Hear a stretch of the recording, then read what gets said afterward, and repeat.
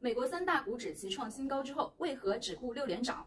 欢迎大家收看今天的 Go Markets 盘前解析。今天是二零二一年二月十日，星期三，我是 Go Markets 分析师 Coco。首先，我们来回顾一下昨天晚上美国市场的表现。在周一，美国三大股指齐创新高之后，投资者担忧，随着美国通胀接近二零一三年以来的高位，债市将有可能再威胁到美国的股市。美股昨天晚上集体低开，其中放开盘全线下跌，但区区块链和大麻类股票表现卓越，能源板块跌超过百分之二。截止收盘，标普五百收跌百分之零点一一，止步六连涨。此前曾连续三日创下历史新高。道指也在七日里首次下跌，并跌落历史新高。纳指收报一万四千零七点，连涨四日，并连续四日创下历史新高，首次突破一万四千点整数大关。金价方面，因美元走软以及投资者寄希望美国将出台更多刺激经济的方案，黄金上涨，目前报价一千八百三十八美元，为一周内的高位。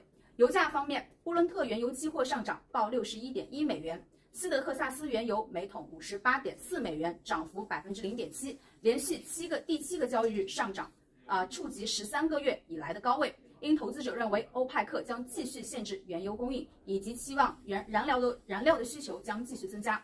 非常感谢大家的观看，啊，喜欢我们的频道记得点赞关注，我们下期节目再见。Markets 在线交易首选券商。